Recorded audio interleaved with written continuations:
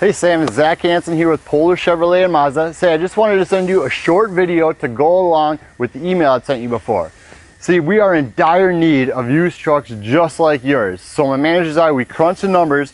We actually found out that I could get you into a brand new 2013 extended cab and lower your monthly payment. Now, this, if this sounds like something you might be interested, please let me know because I do only have three of these 2013 LTZ trucks left. So please give me a call. I look forward to hearing from you. If you have any other questions, uh, listen to my contact info right below. Thanks again, Sam. Hope you have a good day.